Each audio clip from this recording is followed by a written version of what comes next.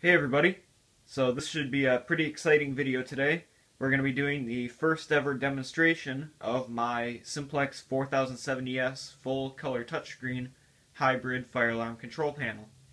And as you can see I have a couple different uh, Simplex devices laid out here and I do apologize that everything is kind of uh, laying around haphazardly here. You guys probably know from my uh, previous videos that even when I do uh, demonstrations when I don't have a permanent system built yet, I kind of like to mount everything on boxes and smaller pieces of uh, MDF board to keep everything clean. Uh, but for what I'm doing here, I didn't really think that was justified, so I do apologize for the fact that everything is just kind of laying around with the bare wires. But um, disregarding that, let's go ahead and take a look and see what we've got. First and foremost, we have the 4007 ES itself. You can see I've already uh, pulled the door open because uh, there's that large piece of uh, glass or plastic on the front, and it's really reflective, and that makes it about impossible to film the panel while the uh, door is closed. Um, so here you have an unobstructed view of the touchscreen and all the display indicators. I won't get into it too much, but I'll pop open this cover so you can see some of the boards inside.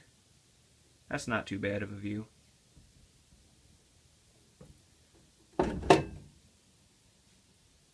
So if I focus in on the touch screen, you can see that we have the system is normal message along with the uh, background graphics and the Simplex 4007ES logo. So now we're going to move down and take a look at the devices that I have connected to the control unit. So here's the devices for this test, and once again I do apologize that they're just kind of laying here. So this is a Simplex 2099-9754 conventional T-bar station. This is wired into zone 3 on the conventional zone relay card in the 4007ES. Right here, this is a Simplex 4901-9820 remote horn. This is a uh, selectable version, so you can move a small dip switch between Smart Sync operation and free run operation and it is currently set on Smart Sync operation and connected to NAC 4 on the 4007ES, which is configured for uh, Smart Sync operation. Then over here we have a Simplex 4906-9103. This is a uh, Smart Sync only strobe, so there's no option to select it back to free run. And this is also connected right in there with the 9820 on NAC 4. Off to the left of the panel, we have a Simplex 4098-9756 duct detector housing, and uh, that has a 4098-9714 uh, smoke sensor in it. This is an IDNet and MapNet2 addressable device, so this is currently wired into the uh, IDNet loop on the 4007ES, and this is the only uh, addressable device that is currently configured on the panel. So to get things started, I'm going to go ahead and activate the Simplex T-Bar.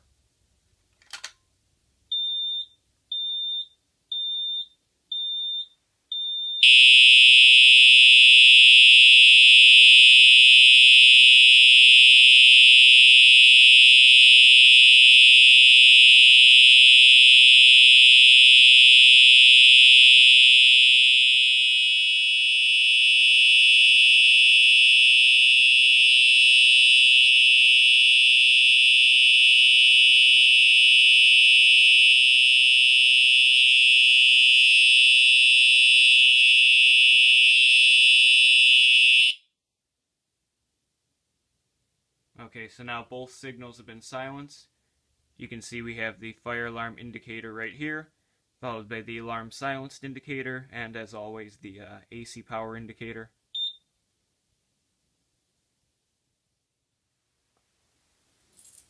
So now I'm going to go ahead and reset the 2099 pull station.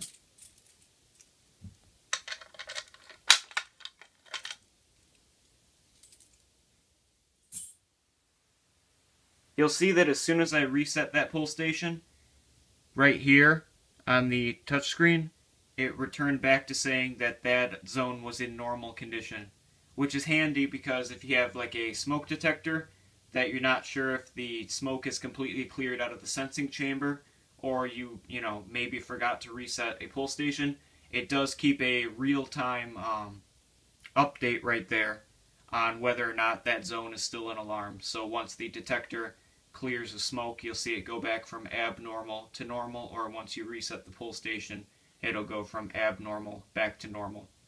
So now we're going to move over to that duct detector, and we're going to go ahead and test that out. So I'm going to go ahead and conduct a magnet test on the duct detector's board.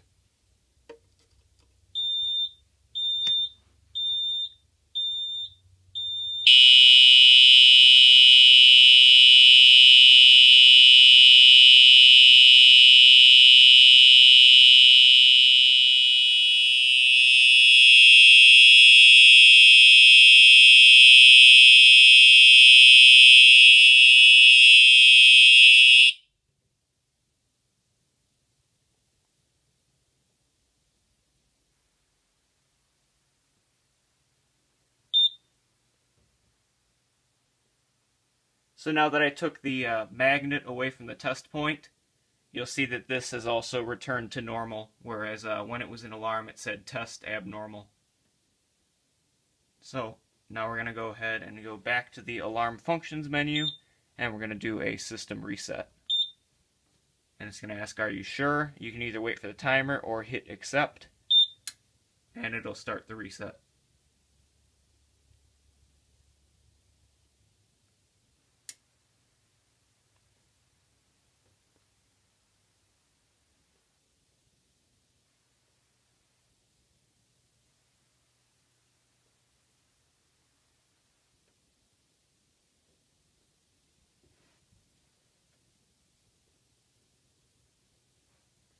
And we have no alarms present. And now we're back to the system as normal screen. So, thank you guys for watching, and I'll see you next time.